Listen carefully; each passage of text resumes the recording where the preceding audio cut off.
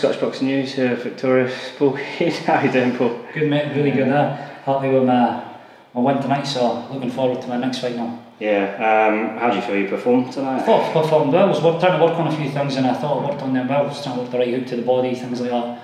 And uh, I felt good, switch hit a few times and that, so feeling good with that as well. Yeah, it was good, Yeah. good performance. Um, you've to watch it back, obviously, and I just evaluated with my team and that. So.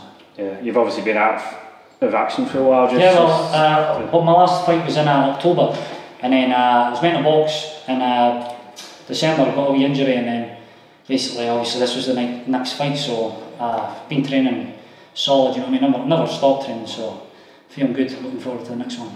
yeah, um, I remember seeing as well you're trying to get one up in Dundee Yeah, as well, well, obviously, which hopefully- getting the home crowd there. Yeah, that's it, definitely. You know, I mean, it's obviously it's hard coming through Paisley and Glasgow and all the time, but here the fans still, uh, my fans still travel, so I'm happy. You know what I mean?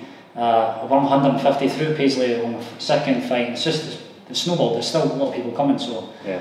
and obviously with the next fight being uh, what it is, that that should bring a big crowd. So looking forward to it. Yeah, obviously got announced at the end of the fight that Yeah. you're fighting Stefan Sanderson Yeah. for the Scottish title. Yeah, that's Uh, that's definitely it's another wee incentive for people to come. So I'm looking forward to hopefully the Dundee crowd get behind us. Always have. So Yeah. Forward to. it. Um, it's obviously been a, a, like a year and a bit that you've been pros now. Uh, Yeah, uh, 2016 I turned pro. So uh, yeah, seven fights in now. So How are you finding it so enjoying it. far? Love Yeah. it. Love it. Love the life. You know what I mean? I love love training. Love boxing. It's good.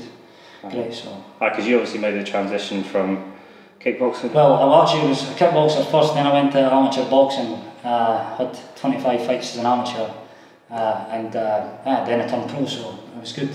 Obviously, uh, I loved the kickboxing. Loved the amateur boxing, and loved, loved being a pro. So it was good. Yeah. Uh, obviously Dundee's pretty well. It's got Yeah, a few, few famous boxers. like uh, the, well, the last man hold this this title to fight for is uh, Mike Towell. You know what I mean? That was my pal, so uh, I'll be trying my best to make sure it stays in Dundee. And then uh, obviously you've got Ronnie Clark. He just won the. European title. Uh, brilliant fight. You know what I mean? He's got to go back down and defend it in Manchester, which is a bit of a nightmare for him. But Yeah. ho- ho- sure he'd do, sure he'd do the business down there again. And then obviously Jamie Wilson as well. So. Yeah, obviously Mike. That's That's it. That's Yeah. it. It was good, uh, great boxing. You know what I mean. So uh, hopefully uh, do the business on uh, 25th of May.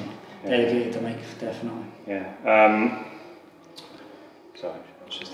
Uh, have you seen like Stefan box much at all? Uh, no, well, that's what um, I was just saying to my and that. They've, they've obviously they've seen him. We've only boxed on the same show twice. Uh, both times he's been before me, so I've never seen him. But uh, obviously my team and that they've uh, they've seen him. So uh, I'll just let them worry about the tactics and I'll just Aye. put them into play. That's it. How did they uh, rate your performance tonight? Uh, well, they obviously praising it just now, but there'll probably be faults that will get told during the week. So uh, they let us have them at night, and then we'll speak about it during the week. But definitely, it was good. I felt good. So hopefully, just keep improving. That's it. That's the main. That's the main goal every fight. Just slight improvement, slight improvement. That's it. Um, obviously, sponsors have been a big help getting you. Yeah, well, definitely. I've got uh, a few main sponsors. My my main sponsor, Metal Tech, uh, Metal Tech, Muscle Access Industry, and uh, Scran Fitness Food. Uh, they've been massive for us. Uh, basically, lockdown it doesn't really work. You know what I mean? It's hard. You know, people don't understand. It's a full time job being a pro boxer, and you've got a full time job as well. You know what I mean? You're signed for these big companies like Matchroom and that. But uh, uh, well done. Uh, obviously, I wouldn't be able to do it. So can't thank them enough. And I've got another few s- smaller sponsors: Anfield Road Motors, JDM Plumbing, uh, uh, Claridon Aesthetics, uh, ACKM, uh, Krav Maga, uh, the Waffler. There's a few of them, so thank you to them as well, definitely. What do you do outside the ring? As you? I'm actually well, I'm a personal trainer, so my dad's got uh, his own gym, so it's kind of the perfect job for a boxer. You know what I mean? I'm in the gym anyway, so I just sit aside. Uh, thanks for training and that's it, so it's good. Uh, your dad was a boxer, wasn't he? No, yeah, he's a boxer, kickboxer, so got our own gym in Dundee Skyax.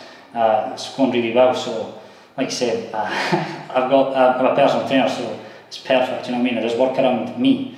You know what I mean? And my training gets done. It's good. Smashing. Thank you very much. Thank you very much. Cheers, mate.